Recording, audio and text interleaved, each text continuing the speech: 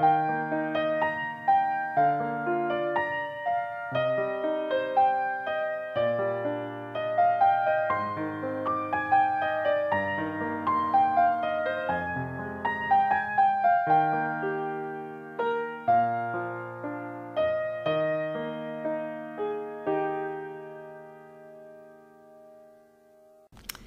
Welcome to the Bible study on the life of Jesus Christ, Son of God, according to Mark. Today we'll be looking over chapter 16, and this is our last lesson in this series. So let's open with prayer. Father, our hearts are full of gratitude for this season of the year. As we approach Easter, we are aware once again of the great truth that Jesus Christ is alive He's here with us in this room. We thank you that He guides us, teaches us, comforts us, and gives us peace. And we are never alone. Open our eyes to the truths in our lesson today and help us to apply them to our lives. We pray in Jesus' name. Amen. Well, in our first section, Jesus is resurrected. Mark tells us in verse 1 when the Sabbath was over, Mary Magdalene, Mary the mother of James and Salome, bought spices. Question one What did the women intend to do at the tomb? Mark says, so they might go to anoint Jesus' body. They hadn't been able to complete the embalming process on Friday because all work was forbidden on the Sabbath. So Saturday evening, when the Sabbath was over, they bought spices so they could anoint Jesus' body the next day verse 2, Mark says, Very early on the first day of the week, just after sunrise, they were on their way to the tomb. So, question two, what was their concern? Verse 3, they ask each other, Who will roll, roll the stone away from the entrance of the tomb? There was no door to the tomb. There was just an opening with a groove, and a big circular stone had been rolled into the groove. The women knew they weren't strong enough to move it, so they were wondering who would roll it away. Question three What did they find? Verse 4 When they looked up, they saw that the stone, which was very large, had been rolled away. So, question four Can you think of a time that you worried needlessly over a problem only to find that it had been rolled away by the Lord?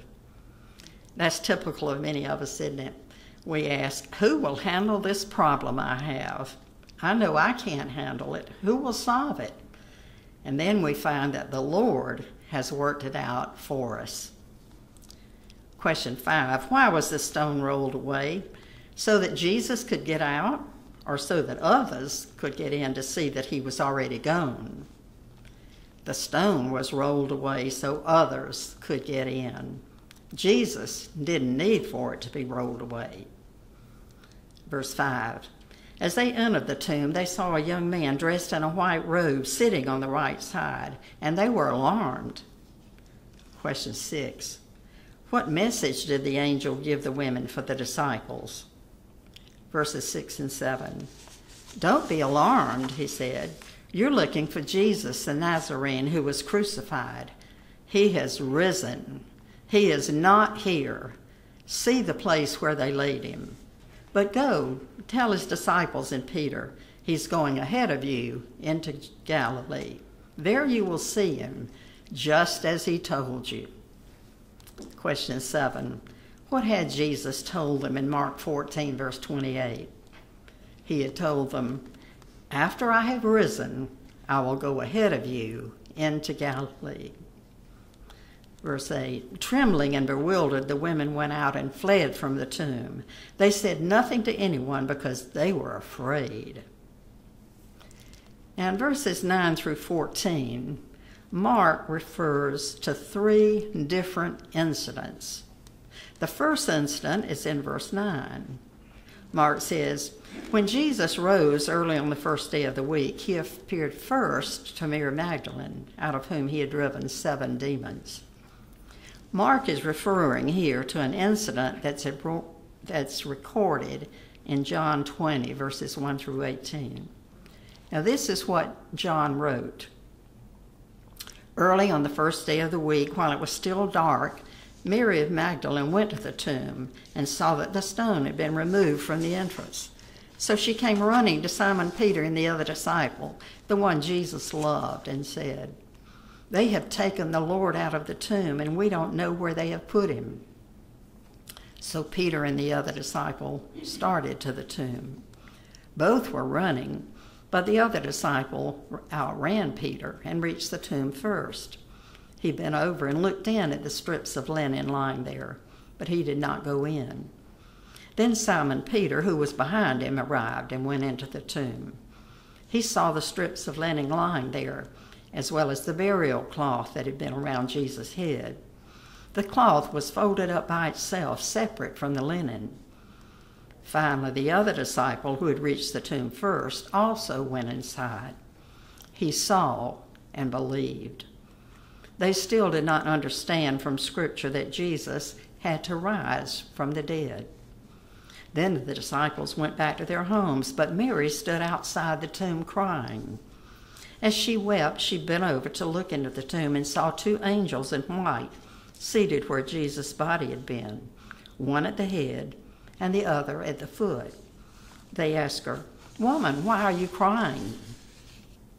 They have taken my Lord away, she said, and I don't know where they have put him.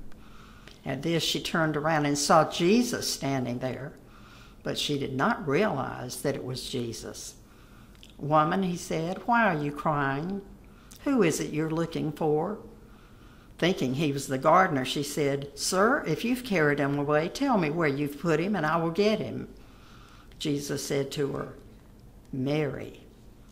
She turned toward him and cried out in Aramaic, Rabboni, which means teacher. Jesus said, Do not hold on to me, for I have not yet returned to the Father. Go instead to my brothers and tell them I am returning to my Father and your Father, to my God and your God. Mary of Magdalene went to the disciples with the news, I have seen the Lord. And she told them that he had said these things to her. Now, back to Mark, verses 10 and 11. Mark says, She went and told those who had been with him and who were mourning and weeping. When they heard that Jesus was alive and that she had seen him, they did not believe it. They did not believe Mary. They didn't believe her when she reported that she had seen and talked with Jesus. Now, the second incident is in verse 12. Mark says, Afterward, Jesus appeared in a different form to two of them while they were walking in the country. So, Mark is referring to an incident that Luke tells us about in Luke 24, verses 13 through 25, 35. This is what Luke wrote. Now, that same day, two of them were going to a village called Emmaus, about seven miles from Jerusalem. They were talking with each other about everything that had happened. As they talked and discussed these things with each other, Jesus himself came up and walked along with them, but they were kept from recognizing him. He asked them, What are you discussing together as you walk along? They stood still, their faces downcast. One of them, named Cleopas, asked him, Are you the only one living in Jerusalem who doesn't know the things that have happened there in these days? What things? he asked. About Jesus of Nazareth, they replied. He was a prophet, powerful in word and deed before God and all the people. The chief priests and our rulers handed him over to be sentenced to death and they crucified him. But we had hoped that he was the one who was going to redeem Israel. And what is more, it is the third day since all this took place. In addition, some of our women amazed us. They went to the tomb early this morning but didn't find his body. They came and told us that they had seen a vision of angels who said he was alive. Then some of our companions went to the tomb and found it just as the women had said, but him they did not see. Jesus said to them, How foolish you are, And how slow of heart to believe all that the prophets have spoken. Did not the Christ have to suffer these things and then enter his glory? And beginning with Moses and all the prophets, he explained to them what was said in all the scriptures concerning himself. As they approached the village to which they were going, Jesus act, acted as if he was going farther. But they urged him strongly, Stay with us, for it is nearly evening. The day is almost over. So he went in to stay with them. When he was at the table with them, he took bread, gave thanks, broke it, and began to give it to them. Then their eyes were opened, and they recognized him, and he disappeared from their sight. They asked each other, Were not our hearts burning within us when he talked with us on the road and opened the scripture to us? They got up and returned at once to Jerusalem. There they found the eleven and those with them assembled together and saying, It is true, the Lord is risen and has appeared to Simon. Then the two told what had happened on the way and how Jesus was recognized by them when he broke the bread. Then Mark tells us, back in verse 13, these returned and reported it to the rest, but they did not believe them either. The disciples did not believe the two who reported walking, talking, and eating with Jesus. Now, the third incident that Mark refers to is in verse 14. Mark says, Later, Jesus appeared to the eleven as they were eating. He rebuked them for their lack of faith and their stubborn refusal to believe those who had seen him after he had risen. So Mark is referring to what Luke reported in Luke 24, verses 36 through 41. This is what Luke wrote. While they were still talking about this, Jesus himself stood among them and said to them, Peace be with you. They were startled and frightened, thinking they saw a ghost. He said to them, Why are you troubled? And why do doubts rise in your minds? Look at my hands and my feet. It is I myself. Touch me and see. A ghost does not have flesh and bones as you see I have. When he had said this, he showed them his hands and feet. But they still did not believe it. So, question eight What reaction to the resurrection has been repeated in every generation for 2,000 years? They do not believe. The disciples didn't believe Mary Magdalene, who told them she had seen and talked with Jesus. They didn't believe the two who had walked, talked, and eaten with Jesus. They didn't believe Jesus had risen. They didn't believe that he was alive. And that's true of many people today. They don't believe God's word, which tells us very clearly what happened according to eyewitnesses who saw and talked with him after the resurrection. My husband Jim and I went to Israel a number of years ago, and we were privileged to see the empty tomb. But I didn't need proof to know that it was empty. God's word says it's empty, and I believe God's word. But Matthew tells us in chapter 28, verses 11 through 15 while the women were on their way, some of the guards went into the city and reported to the chief priest everything that had happened. When the chief priest had met with the elders and devised a plan, they gave the soldiers a large sum of money, telling them, You're to say his disciples came during the night and stole him away while we were asleep. If this report gets to the governor, we will satisfy him and keep you out of trouble. So the soldiers took the money and did as they were instructed. And this story has been widely circulated among the Jews to this very day. So, unfortunately, lies were added to unbelief. Satan is the father of lies, and he is the one who puts doubt in the minds of men and women. Jesus was resurrected. He rose from the dead, and he is alive today. Before he ascended into heaven, Mark tells us in verse 15, he said to them, Go into all the world and preach the good news to all creation. Now, we can be grateful that the disciples obeyed that command. You and I are here this morning because of their obedience. Multitudes of people all around the world are in heaven because Christians have obeyed that command down through the years. And now it's our turn. That command still stands. It's a command to every Christian. In Matthew's gospel, he adds these words Jesus said, All authority in heaven and earth has been given to me, and surely I will be with you always to the very end of the age. That's what enables us to share with others. Jesus is with us. You and I can't convince anyone that Jesus is alive. We simply share what God's Word says, and the Holy Spirit convicts them just as he convicted you and me and enabled us to believe. Question nine What two destinies face every person who has ever lived? Verse 16, Jesus said, Whoever believes and is baptized will be saved, but whoever does not believe will be condemned. That's it.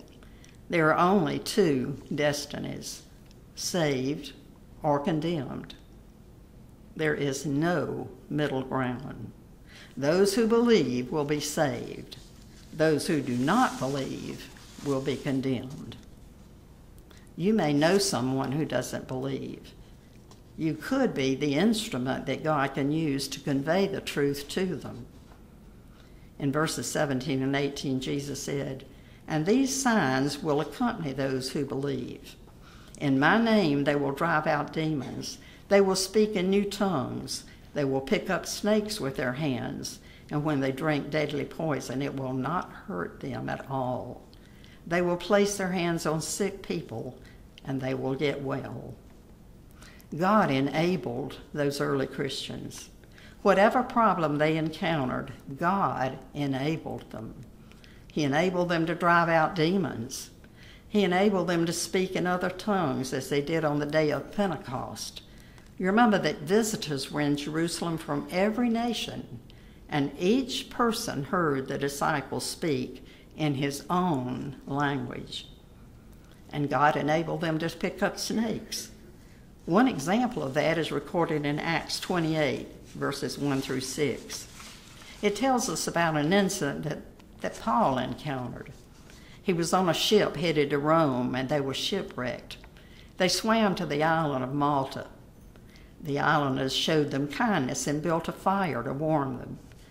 Paul gathered a pile of brushwood, and as he put it on the fire, a snake, driven out by the heat, fastened itself on his hand.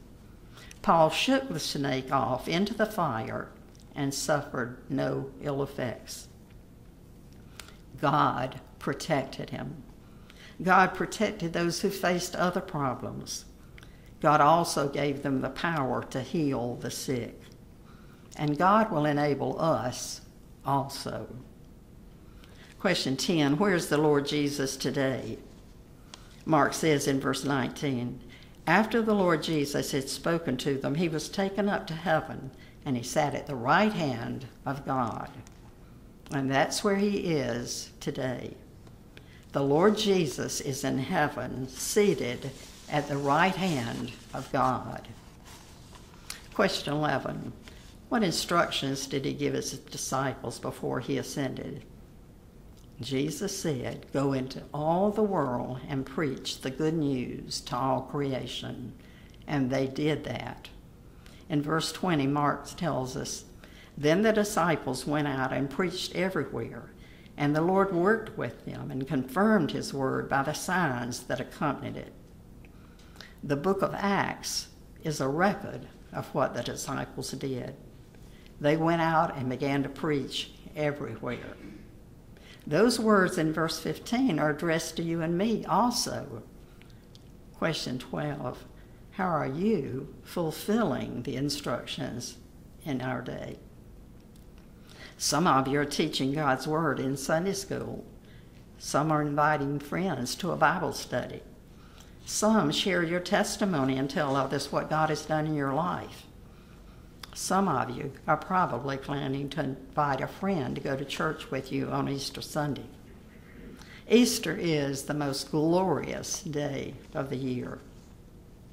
It celebrates the fact that Jesus is alive. I'm sure that you would agree with me that there is no greater joy in this world than to see someone accept Jesus Christ as Savior and Lord and receive the assurance that their sins are forgiven and they will spend eternity in heaven. That's what motivates us to obey Jesus' command to go and tell others the good news. If there is anyone here or who hears my voice who's never made that life changing decision to invite Jesus into your life as Lord and Savior, I hope you'll do that today. Just pray Acknowledge that you're a sinner. Believe that Jesus died on the cross for your sins. Ask Him to forgive you. Come into your heart and control your life. If you do that, the Holy Spirit, the same Spirit that was in Jesus, will come in. He'll guide you, comfort you, teach you, encourage you, and much, much more. And once He comes in, He'll never leave. And the good news is that all your sins will be forgiven, and you will have the assurance of eternal life. The Bible says God has given us eternal life, and this life is in His Son. He who has the Son has life. That's a promise from God's Word. That is God's amazing grace. You and I will never understand it. All we can do is marvel at it and be grateful for it. So let's close in prayer. Father, we do thank you for Jesus. We thank you that he is alive today. Guide us as we look to you for ways we can fulfill Jesus' command to share the good news with others. We want them to experience the joy and peace we have so give us opportunities to share and give us the words. We pray in Jesus' name. Amen. Well, thank you for being a part of this Bible study. Thank you.